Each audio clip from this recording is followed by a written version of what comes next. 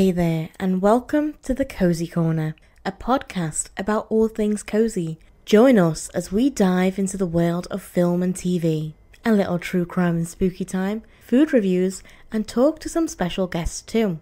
So get cozy, grab some snacks, and settle in, because we're about to begin. Hello, and welcome to another episode of Cosy Corner. My name's Emilie, and today I'm going to be doing a review on Domino Day. It's a new TV series, and I've got some things to say about it. But before we dive in, for any new listeners, I just wanted to say that thank you so much for joining, first of all. And in case you're not sure what this podcast is about quite yet, well, we do a few different types of episodes. We do true crime and spooky time, where I talk about true crime cases, usually in Liverpool, or some spooky stories, which you can go check out. I believe there's two episodes up about those. Or we do film and TV reviews, sometimes some food reviews, some story times, maybe some Marvel episodes as well woven throughout. I also do some guest interviews as well. We've got quite a few of those up at the moment, and any little bits that we like in between. So it's kind of anything that we're passionate about, we talk about. And I say we I do usually have a co host, but unfortunately, Abby is unwell at the moment. She's doing much better now, and she's hoping to return to the podcast soon. So let's send all of our well wishes to Abby, and hopefully, she'll be back soon, and we will be able to get back to our usual podcast host setup. Um, but for now, we're going to be diving into a review about Domino Day so, for those who might not be too familiar with it, first of all, spoiler warning if you haven't seen it, go watch it. Pause this, go watch it, enjoy it, or don't. Come back, and then, you know, we can we can talk about it. I don't want to be spoiling it, so don't make me spoil it, okay? Um now that's out the way. Let's get into the summary first of all. So, the synopsis is that this show is set in Manchester. Domino Day is the story of Domino, a young woman with the power to feed on the life force of unsuspecting men that she meets on dating apps. Strangely enough, this appears to not be a normal behaviour by the standards of witches, and soon there's a coven on her trail trying to figure out what she's up to. And to make things worse, Domino's evil ex Silas is back in town and looking to settle scores. So it really sets up this kind of this drama and and there's a lot going on. Like there is quite a bit going on. And I really, really, really wanted to love this series but it just felt like it fell a bit short. Now, I, I will say, there are some really good parts of the show, and I did think that they did really well with some aspects, but it just kind of fell short in, in many others. And I feel like it had a lot of potential. It could have been really good, but there was just a lot of pitfalls that it did fall down. It seemed like this show was really trying to be the next Vampire Diaries or Supernatural, but it just wasn't hitting the spot. It just didn't quite get there. It felt too much of a copycat, and then what was actually original wasn't really explained very well. So the storyline throughout felt quite messy and all over the place, and it seemed to really rely on sex scenes to to drive the narrative forward or some kind of like sexy scenes, you know, to really draw the audience in and set the tone instead of delivering the plot. And I felt like the plot was very trimmed down, like it was meant to be much longer and deeper and, and have more depth to it than what it ended up being. So the show gave us six 45 minute episodes. Well, 45 minute ish episodes and it gave the impression that it could have actually been a lot longer to accommodate more of the rich storyline that it alludes to, we don't really get to dive in. It just kind of gives the bare minimum of the storyline, which I was upset about because I could see the potential in this story. I could see what it was trying to be and what it was trying to achieve. And it could have. It could have if it was allowed to. I do think in this somewhere there's a really great story. It just wasn't allowed to shine. I feel like it was really cut short. Maybe I've got that wrong, but that's just what it's given to me. That that's what I feel when I've watched it. Many of the characters throughout this, I just didn't feel they were really fully developed. I don't mean to be so negative about this, but I just felt like there was a lot where it it just didn't live up to its potential of this show. Like it could have been incredible, but it, there was just so many pitfalls. So these characters that we we do meet, obviously, we're first introduced to Domino, and because she is quite a developed character, we do get the sense that we're able to connect to her.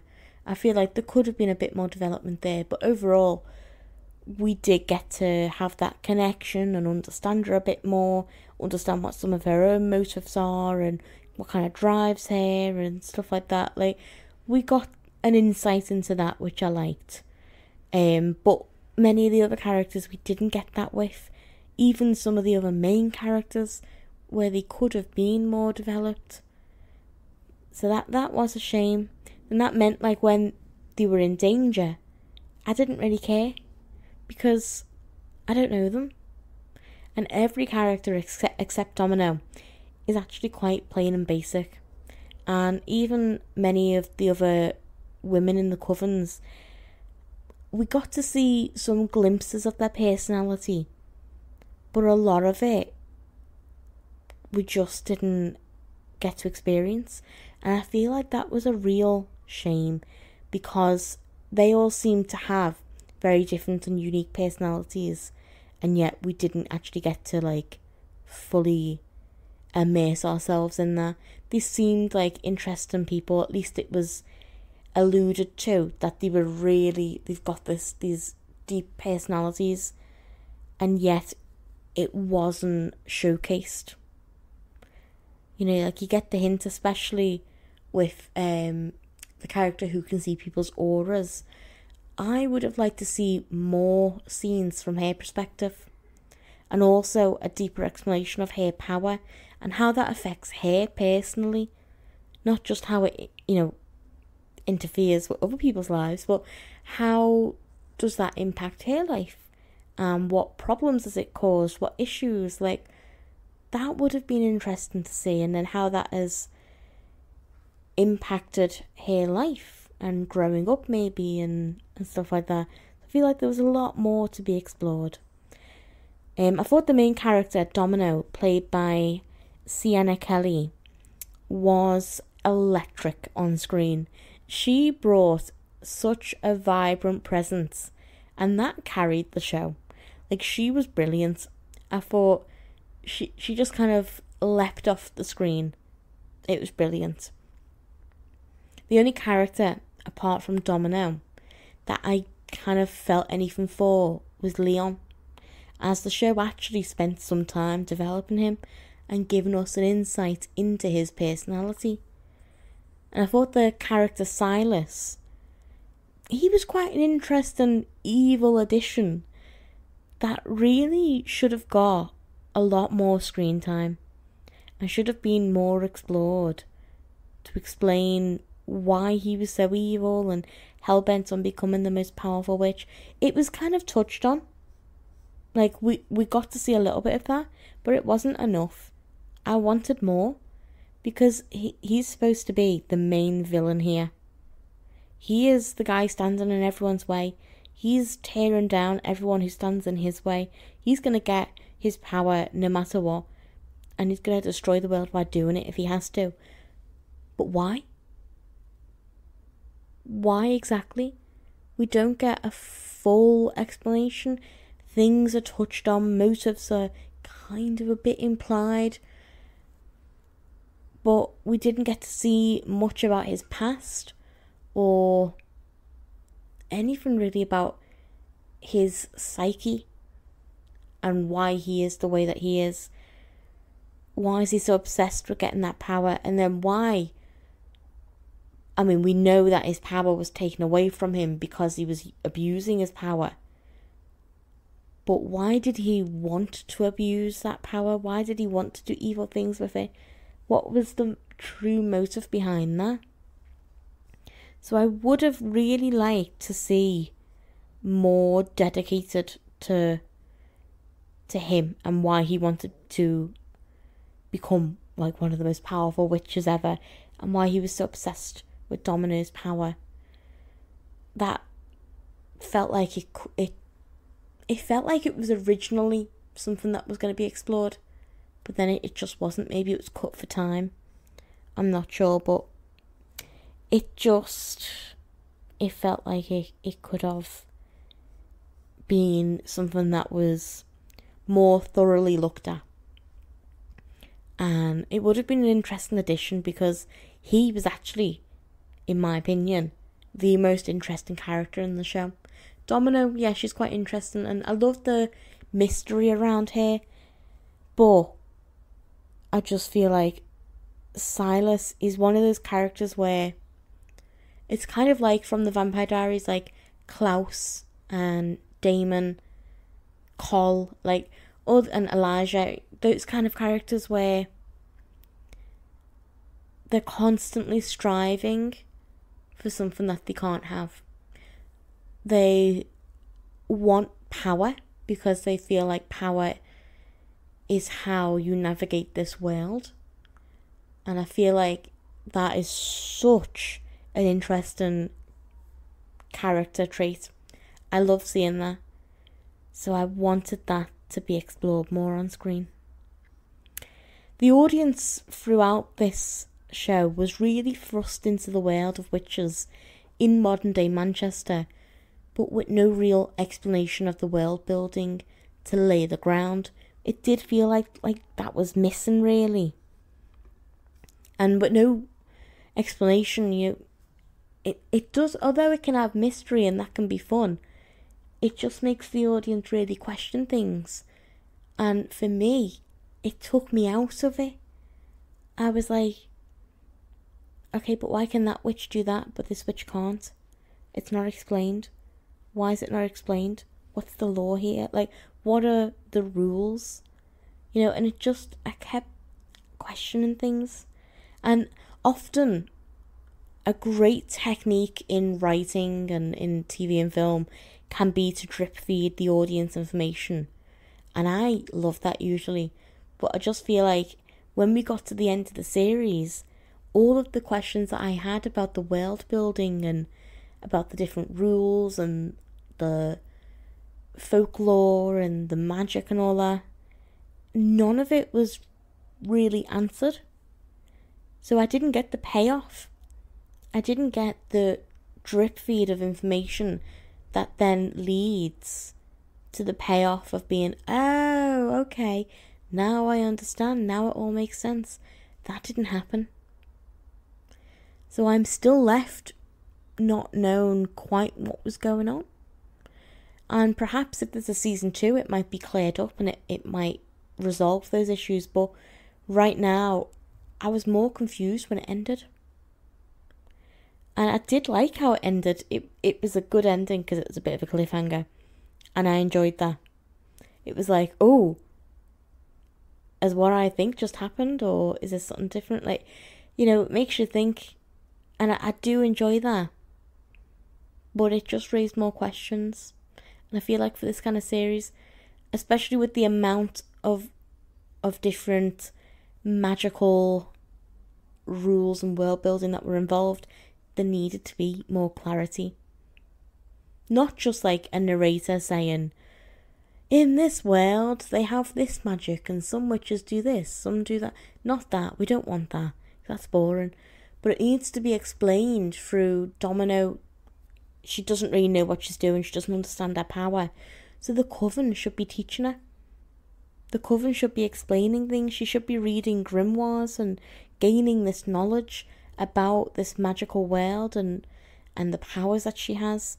And although we pick up a few things along the way from what she finds out, she it's not really explained fully to her, and she still doesn't really know what she is or who she is. And neither do we. So it just felt like we didn't get that payoff really. I just didn't think it was executed as well as it could be. I would have liked to see more of Domino figuring out her powers and struggling with them from a young age with no guidance because she did express that she didn't have any guidance, no one told her. She actually thought that she was the only person with that power. Now, to be fair, she was a Lamia, which they are extinct from what we know. So she is the only one, as far as we're aware. But she's not the only witch. She she's just the only one of that type of witch. So she grew up believing that she was the only witch in existence. Because she didn't have anyone to tell her really, and we didn't get much of a backstory. I would have loved to see more backstory to fully explain like who she is and how she's got to where she is why she never knew anything about magic and witchcraft and all that. It didn't even need to be linear. We could have found that out in like the last episode, you know what I mean? We could have visited her backstory much further down in the storyline to give us kind of like a prequel sort of thing. Like, it didn't have to be linear. In fact, I prefer it often when things aren't linear. I like that style. I do prefer non-linear storytelling often because it adds a bit more mystery and it reveals things. It's it's just often better, isn't it? But I felt like with not explaining things, you often just confusing the audience with this sort of thing. And it just felt like either things were cut or things just were never fully explained properly it would have been a great way to show us a lot of her mistakes as well and how it made her cautious of her own power. So, how did she figure out she could do what she does with the, you know, draining the life force from men? How did that come about? When did that first happen? And what what did she do to figure that out? You know, that's what I would have liked to see, and it adds to the development of the character. Seeing how maybe she's accidentally killed someone on her first go. How does that impact a person? Is that why she's so cautious? Was that someone a close friend? You know, we just didn't really get that side of things, and it would would have added much more depth to the character and the plot. What I did enjoy though is how they tied in all of the mythology with the series, bringing in, in the uh, Greek myth of the Lamia. And this version of a Lamia is a witch instead of a demon, and it offers powers similar to what we know as a succubus. Now, within media, we all know the succubus, usually a very beautiful, sexy woman who visits people at night and sucks the life force out of them and can often be described as like a sleep paralysis demon sometimes in mythology. So I liked how that was tied in. I thought that was done really well. I would have preferred to go more in depth with the mythology linked to the magic in this kind of world and maybe even have an episode episode solely dedicated to that to properly go in depth and explain as it kind of just felt like there was more to unpack there and we didn't get to see it. So I would have liked that. I felt like they did it well, but it could have been even better with going more in depth and have like an episode maybe where we're not even with the characters that we know. Maybe it's back in time like centuries ago when there was Lamias everywhere. Like they were maybe like a, a rampant problem throughout society, and maybe we're seeing the myth or even the creation myth of the Lamia. You know, something like that I feel like could have really added something special. That could have been really good. Because I enjoyed that. I enjoy seeing how myth and legend can be tied together and thrust into a modern day story. And it worked really seamlessly. And I feel like they did do a good job, but there was more there. The magic lore was good, but it did need more developing um, to give us more of an insight into the rules and the origin. Because the rules, again, they're not really explained. We don't really know what's going on. And that can work, but it can only really work if you then later explain things or drip feed the audience strategically to give them the information that they do need to know and allow things to be worked out throughout the series. But that didn't happen. Um, I really liked the mysteriousness of the story throughout. Kind of just felt like it was missing something. Like maybe more of an origin story, creation myth, or more of that mythological aspect. And what I really wanted to see was more of the magical authority in the elder witches that seemed to govern all the witches and the covens and dive deeper into that darker undertone of corruption that it was hinting at. Because we could see that Silas's mother, who seemed to be in charge or and you know kind of the bad guy in the series, um, as well as Silas himself, she had a lot more darker things going on. She seemed to be able to govern things, and she was the one who instructed Domino, the Lamia, to be destroyed. And that is what ultimately leads her to capture Domino and, and begin the whole ritual. But I would have liked to see more in depth about that person and, and who she is, kind of thing, like a bit more of her motives. Because although she expresses that, like, well, if the people who are above here, the elders, like, if they see that, you know, we caught the last Lamia, well, that'll be good for me. But it didn't really seem like that was enough of a motive. It's hinted at that every witch seems to despise Lamias. And it's because Lamias kill people, they suck the life force out of them. But we don't get to see the repercussions of that and how that actually impacted people. I think there would have been more of a connection and more of an impact and more understanding of of why everyone hates the Lamias if we fully got to see an episode where the Lamias are like destroying everything and killing everyone, then it would it would hit home. Then we would see the loss and the destruction. But we didn't we, we didn't get to see much to do with that. It was all more just hinted at and explained. Well, briefly explained. And again, it's these elements where they could have developed more that really would have made this show incredible. The potential is there, they're just not going for it. Thought it was a really good move to make it so that Domino was the one who had all of the power and Silas had none. And it kind of hinted as well that he was mainly with her because of her power, which I thought was really interesting. And it forced him to show his true colours and reveal his need for power, his craving for power. Even if he wasn't the one wielding it, he wanted to be the one at least in charge of that power. So I enjoyed that relationship between them and seeing his darker side come out when she wouldn't do what he wanted to do. And ultimately, that leading her to express her more darker power that we don't really know fully what happens. She can send people somewhere. So she did that like a few times and I think like that was I I liked how they kept it a mystery for a while and then revealed where they go. I enjoyed that.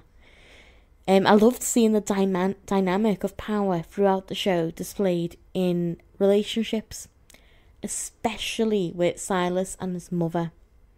She was the one who usually had the upper hand after taking away his power when she realised he couldn't be trusted with it because he wanted to do evil things with it. But there's some really interesting writing when the tables are turned and he finally gets his powers back after manipulating his mom into giving them back to him. Um, I thought that that was that was quite a satisfying moment, even though we're not supposed to root for Silas. There is a part of us where we can see that his mum is just as evil as he is. And although she was right to take his power away, it was still quite a satisfying moment when he got them back. And it was just fun to see him have his power back and be able to do whatever he wants with it. And immediately, once he gets it back, he hates someone. So he definitely shouldn't have those powers, but it is a fun dynamic to play with in in that narrative, seeing how what happens when that kind of power is in the wrong hands, and his hands are the wrong hands. And the show didn't shy away from dark themes like power struggles, death, murder, sexual assault. I feel like it really did play into that and it it weaved it into the storyline seamlessly. It worked like and it helped explore more of of like tying it in with magic and how magic can lead to these issues as well and I feel like they're all really prominent themes and that was done quite well. One of my favourite things about this show, what I really, really enjoyed, was the Gale Gang vibe. The BFF love in this show, it is infectious.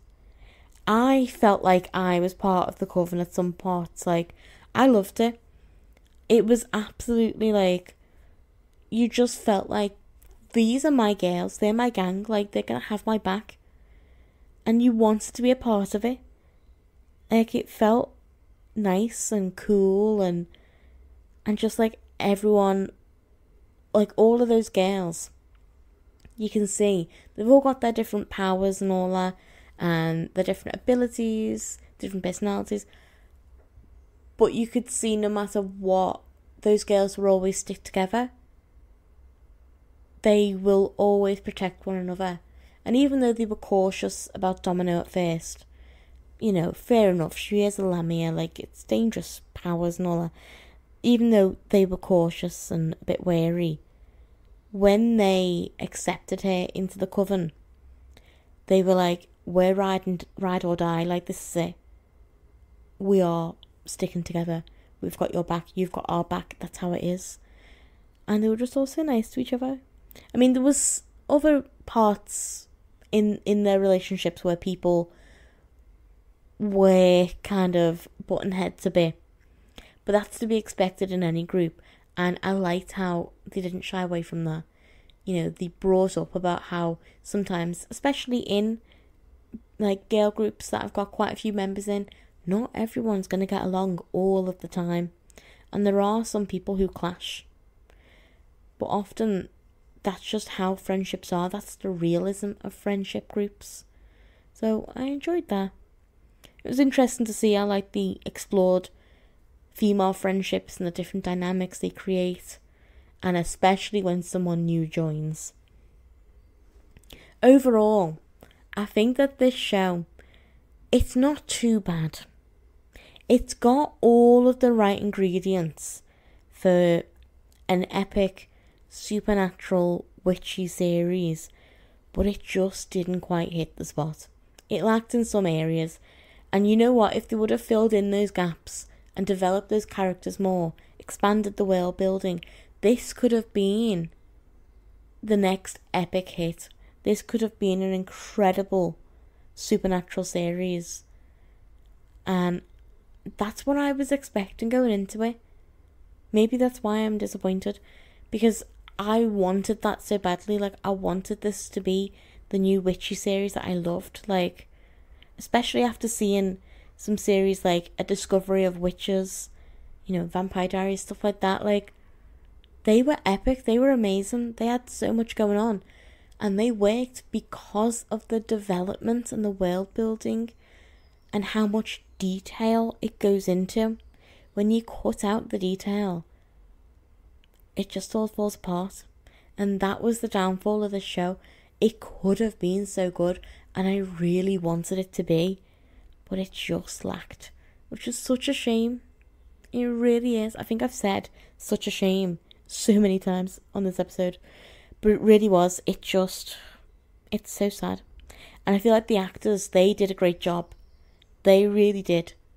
Like, especially um, the actress who played Domino, the actor who played Silas, and, you know, the Coven Witches. Like, that was brilliant. They, like, were captivating. They did a great job.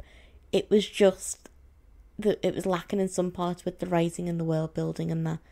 So, yeah, it could have been amazing, but hey, I think if they expanded more with the world building and the characters were developed more, it could have been, and it, if it could have like opted to be a bit more original, because there were some similarities to other shows, then it could have been great. Because like I couldn't help but compare it to other shows like Vampire Diaries, Buffy, Charmed, The Circle. It just felt a bit like this has all been done before.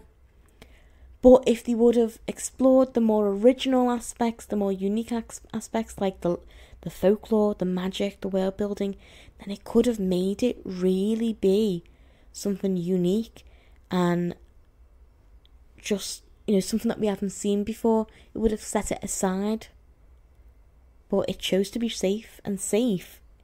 In this climate of TV and film, safe and boring isn't working now. It's not working anymore. We need unique, we need different, we need something that we haven't seen before, and this could have been it. It kind of felt a bit rushed as well. Like, it could have expanded on so many different elements um, and fully flesh out the characters and the lore it had the potential, but it just missed the mark in the end. So, that is my review of Domino Day. Let me know what your thoughts are on the show and if you think it will get a second season. It's a bit too early to say at the moment, but if it does, then they desperately need to expand more on everything to really grip it like the audience and and get them to tune in because I can see how amazing this could be if you just put in all of the effort and the detail. I mean, you know, the devil's in the details. like, you've got to go for it. You've got to go all in and just really make this as unique and authentic as possible. And the only way to do that is to go more in depth with everything and create something completely unique. And it's there. You just gotta do it. So yeah, um, if you agree with me or disagree, let me know over on our socials. Links are all in the show notes below. Hope that you have enjoyed this episode, even though I was quite negative. I don't mean to be. I've just got to give an honest review. That's what you've come here for. You know, don't want to just talk about things that I like all the time. Otherwise, you're probably going to think, is she even telling the truth? Well, here we go, because this was a little bit of a more negative review, even though there were a lot of positive elements to it that I think they still did really great on. So, yeah, I feel like this is probably something that you could watch and be on your phone for. That's, I mean, I was doing that because I got bored. I was um, scrolling on my phone so it's a casual watch, I would say. If you like all things witchy, macabre, dark, mysterious, then check it out and see what you think. Maybe you'll think completely different to me. That's the wonderful thing about TV and film. Everyone's opinion is going to differ. So check it out for yourself and let me know what you think. So, yeah, make sure you subscribed to Cosy Corner Check us out on all the different social links below. Hit subscribe on the app that you're listening on. Head over to our YouTube channel to check out the video version as well. And I will catch you on the next episode. Stay cozy.